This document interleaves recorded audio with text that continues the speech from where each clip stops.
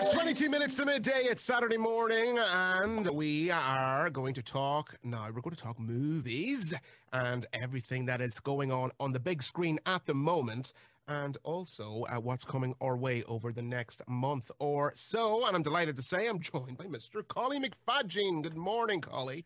Good morning, Rory. It's great to be back on the fastest month of all time. Or, well, it was for me Yeah. because I'd be counting down the minutes till I'd be back on the show again. And we loads of movies to talk about. And uh, Mm. it's an exciting time for the cinema. And uh, I'm here with my minion friends, as you can see. I And see uh, that you really, you really go all out, don't you? I, I blend in. You know, it, it's it's not a coincidence that they went for the colors. I, I feel it was based on me. But we will get to minions anyway, because let's face it, they are everywhere. You see the It's- ads everywhere. It's all about the minions, of course. it's all about the minions. But I suppose first, let's look after, you know, a, a little bit older audience. Now, when we finished last week, the the or last week, last month, what we were talking about was Elvis, and we Yeah. were both kind of looking forward and excited about Elvis.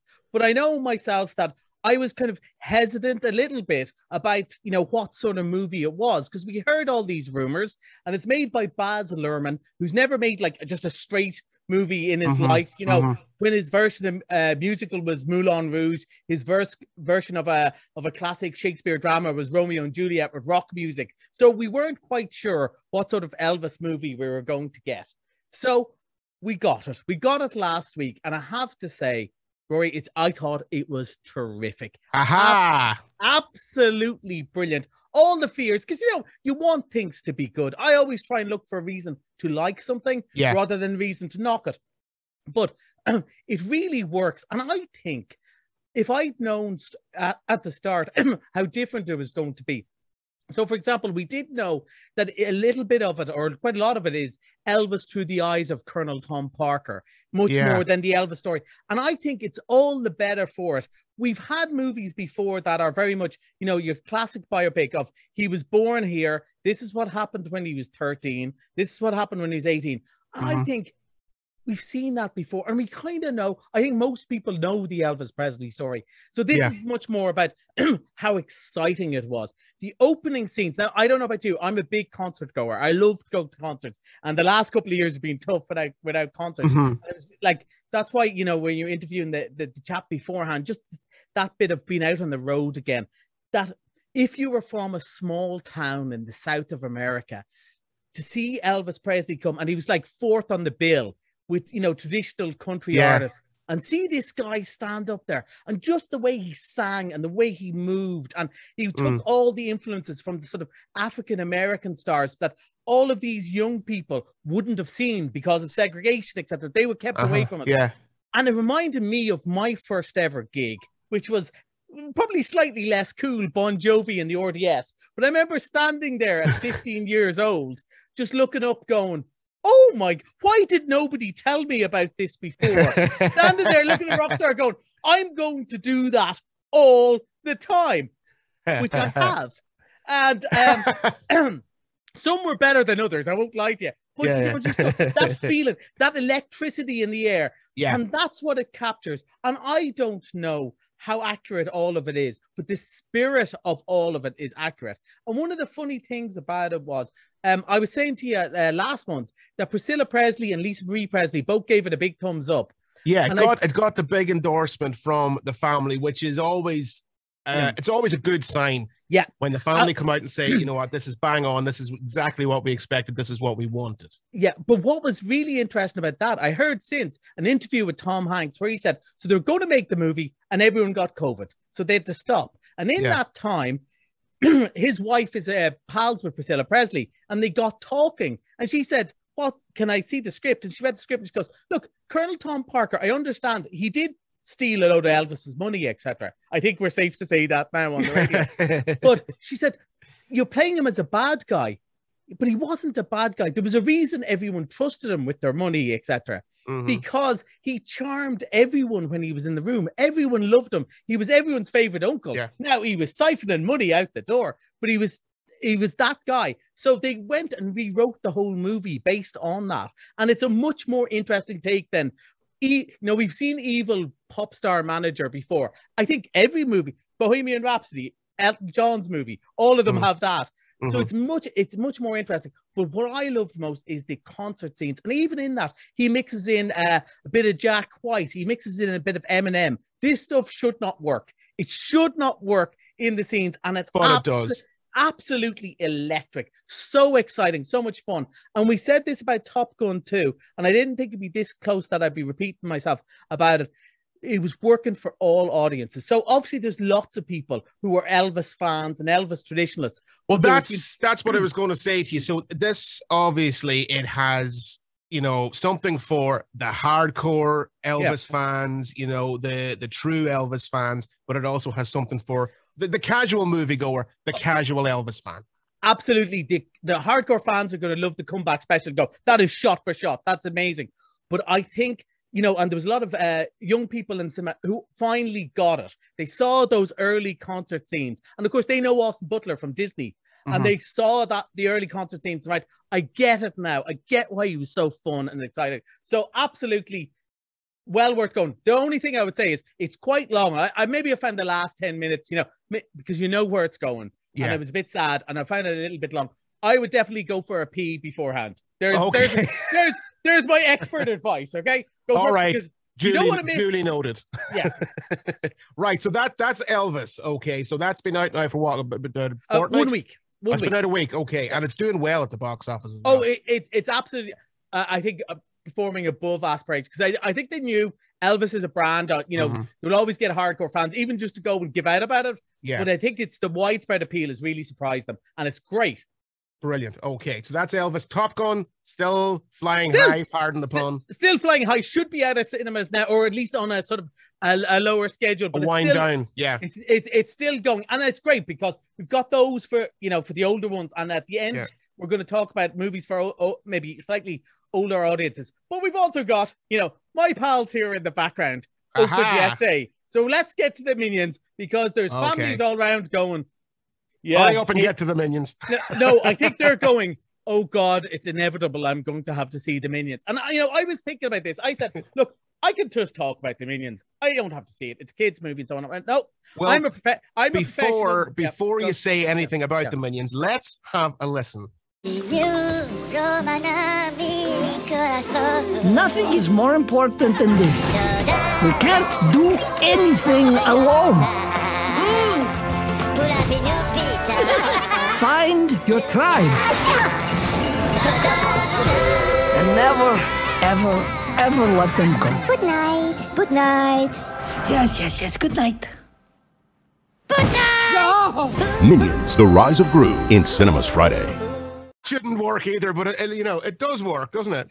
I'm going to say something really controversial now. I think the soundtrack to the Minions 2 is better than the Elvis soundtrack, and I loved the Elvis soundtrack. But I will get to that. Right? so I said I'm a professional. I should go. Look, Rory has asked me to come on and talk about movies. I shouldn't talk about stuff that I ca- I could have seen, but I didn't. So I said, right, I'll go and see it. And I went to see it at 8 a.m. Uh, and you know that's not the time to see the movie. And I went, look, Mm, what, what my review was going to be already in my head. I said, what my review is going to be. Ah, look, it's the Minions. It's lovely. If you've got kids, they're going to like it. So I was in there for about two minutes, and it's opening credits, right?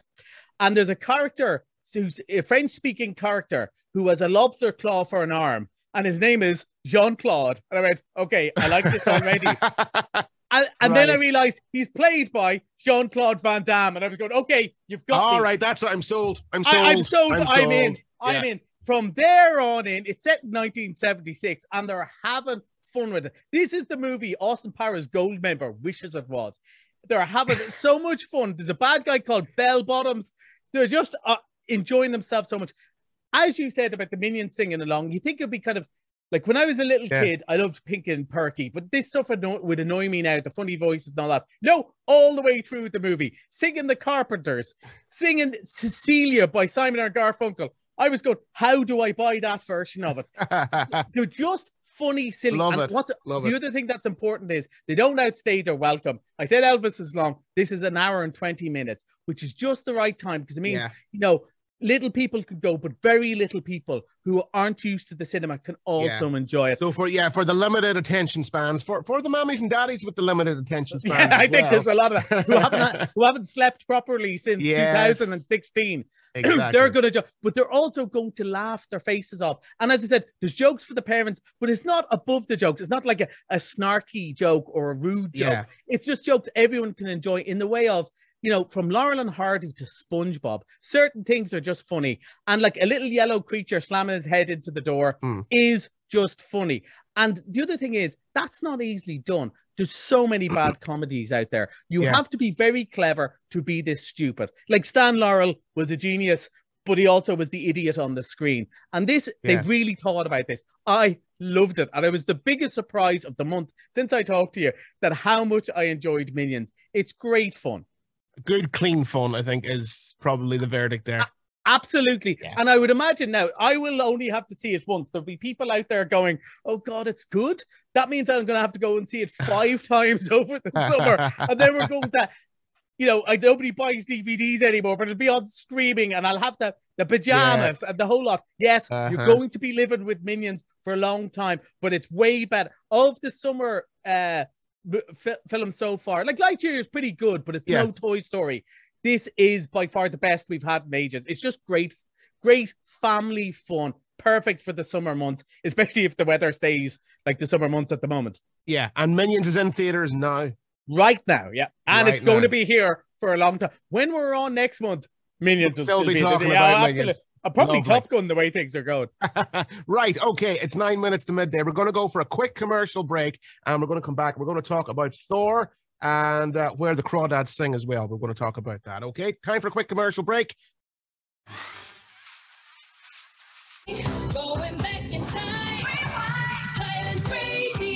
Eight minutes to midday. We are talking movies on the Saturday Rewind. Collie McFadgen is with me, and we are now talking Thor making a return to cinemas on July 7th, I think. Yes, certainly is. Though on Thursday, of course. They wouldn't wait till Friday. It's Thursday. Has to be yeah, Thor. yeah, you know, their own brand right there. So now, whatever about Minions and Elvis having, you know, cult followings, there are some people now listening going, fantastic, there's another Marvel movie out. And there's other people going, oh God, there's another Marvel movie out. Because we're at movie 29. This is the Mm. fourth standalone Thor movie. I think it's like the 10th time Chris Hemsworth has played Thor.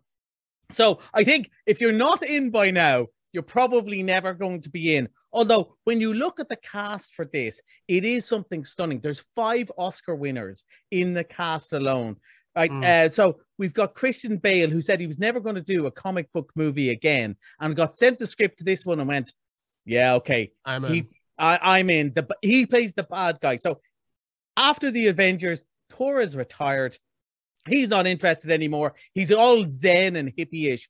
And next thing, this guy called Gorr, who is a god killer and he's rampaging through the universe. Again, there's people now going, either rolling their eyes or putting up their sleeves to book book online. So, but it's also made by uh, Taika Waititi, who made the last one, who's Mm. the genius behind things like uh, What We Do in the Shadows and so on, and brought out this sort of. I know we shouldn't mention New Zealand today because you know of the rugby and so on, but he brought Mhm. this sort of key. Yeah, so we'll move over that.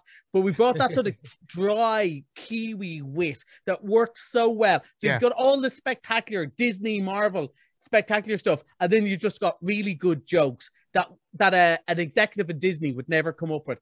It's going to be massive, no matter what anyone says. And I think the thing about Thor and all the Marvel movies is people are so interested about where the story is going to go. There's going to be some secret reveal. There always is in a Marvel movie. Mhm. They're very clever about that. So everyone rushes to see it the first week or two because they don't want spoilers. Spoilers are verboten. It's the worst thing you could do to a Thor fan. Well, you said it's movie number 29 Yeah. in this Marvel expanded universe or Yeah. wherever it's called or cinematic universe. Is there is there a little bit of Marvel fatigue starting to creep in? We saw it with Star Wars, and you know there was nowhere near 29. mo- Well, there's a lot of Star Wars, but Yeah. you know there is Star Wars fatigue out there now, where it just doesn't pack the same punch as it did 15, 20 years ago. Is that happening with Marvel? I, I agree, but I think one of the things they've done that's really clever, and it hasn't always worked, is they've got in all of these uh, left field choices. So we had the Eternals. It was made by the same person who made Mm. Nomadland. That is a mad choice Yeah. to, as a director. This is this is much a comedy, but also the guys from Guardians of the Galaxy are in. So it's kind of an Avengers like movie. So they keep on bringing all these people in. They Yeah. brought that one of the last movies, Shang Chi. One of the things, you know, it was the first time there was a mostly Asian cast, American Asian cast in a big Mm. blockbuster. So what they're doing is they're trying to avoid Marvel fatigue. Now, I think for just your cinema goer, there might be a little bit of that. But one of they keep on mixing up the stories. They keep on bringing in new people all the time. So it's not just like as a kid, I loved James Bond, but even I knew when I went to see Octopussy in the cinema, going, uh, Roger Moore uh, probably isn't a superhero anymore. You know, Yeah. so what yeah, they keep yeah, on yeah. doing is mixing it up. People have gone, and the other thing that's important, I think, which didn't happen enough in Star Wars, big characters die in the Marvel universe, Yeah, everyone is disposable, Yeah, dispensable. Yeah. especially when their wage bill gets really high. I think. I think you get much more disposable. There's a tip for you the next time you Yeah. negotiate your contract, Rory, with Yeah. Ireland. Just, just be careful. Just be careful. just play it safe. You're gone. Stroke of Yeah, a yeah, pen. yeah. Goodbye. and, and I think that is the way they've kept it up. Now, the one thing is they hit a, they hit the ground like like the Pixar people. The Hmm. more movies you make, the more chance there is of the odd dud. But it, Okay. it has to be said, the worst mo- Marvel movies, and probably Iron Man two and so on, as when when little Collie was running around Anagram on his summer holidays, Ah, he would have little killed, collie. With no shoes on. he would have he would have killed to see the worst of these movies because Okay. I was I loved comic books and we couldn't make something like this. So I think maybe for the general public, and I definitely would think for the critics, that's why Doctor Strange did not do well in the critics' choices. They Mhm. got very bad reviews.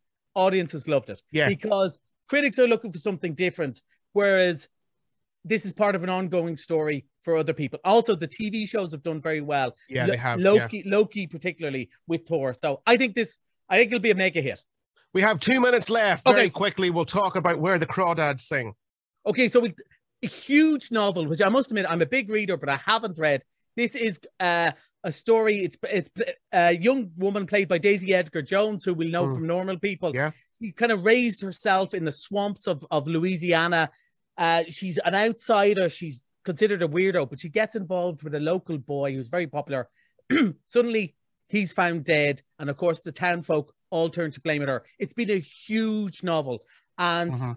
they're expecting it to be a, a, a massive book. I can't wait to see it. I'm just not sure whether I should read the book or not first. And finally, just there's an, also an Irish movie because I love to plug Irish movies Mhm, called yeah. Joyride. It stars Olivia Colman as a young woman who uh, has, has just had a baby, isn't sure what to do, ends up in a taxi that's been stolen by a young 12 year old, and they head off around Ireland. I've just seen the trailer Wow. thi- this morning.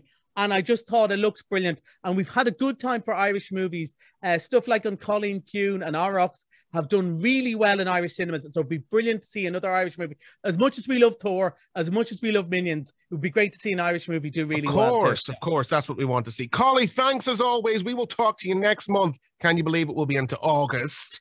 No. But we will. T- I know, I know. Well, listen, we'll talk to you uh, next month. We'll talk about uh, Thor and how it's doing uh, at the theaters and Minions, of course. We'll still be talking about Minions, and uh, we'll talk about what's coming up uh, between August and September as well. Collie McFadgen, thank you so much for joining me this morning. See you at the We'll movies. talk to you soon. All right, take care. Bye bye. Collie McFadgen there, and that's where we wrap up the Saturday morning rewind for this Saturday morning.